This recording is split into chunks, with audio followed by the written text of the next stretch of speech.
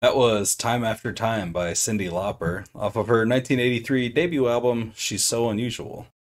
I hadn't known this before about Cyndi Lauper, but she was originally in a band called Blue Angel that only had one album that was self titled uh, in 1978. And then they disbanded because the album got poor reviews. That might be a fun little uh, one album tournament, maybe in the future. Blue Angel.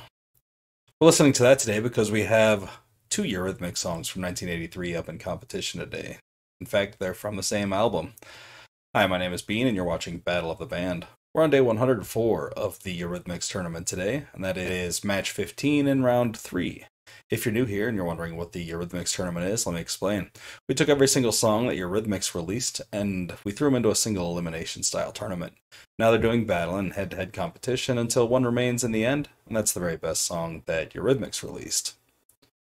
We're going to be starting off today with Aqua, released in 1983 on Touch. Aqua got a bye through the first round, and last round we heard it for the first time on the channel. It defeated Wrap It Up, which was a cover.